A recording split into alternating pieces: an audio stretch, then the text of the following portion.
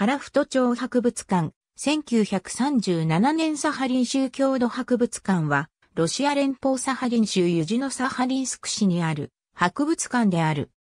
博物館の建物は、1937年に当時、同地を統治していた日本が、カラフトと与原市東八条南六丁目に創立したカラフト町博物館の建物である。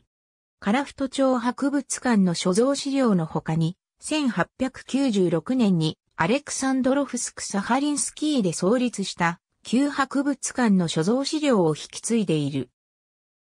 設計者は神奈川県出身で横浜市の加賀町警察署級庁舎などの建築で知られる貝塚義雄。カラフト町博物館ではカラフトの動植物、鉱物、民族、考古学などの資料が展示されていた。現在のサハリン州郷土博物館も日本時代の展示方法を踏襲している。日本時代の建築物では保存状態は最良と言える状況である。正面玄関には狛犬があるが五国神社から移設したものである。シスカ郡山江村園内に存在した北緯50度線の国境標石、天台一港とシスカ郡シスカ町半田沢にあった国境標石、天台三項が保存されている。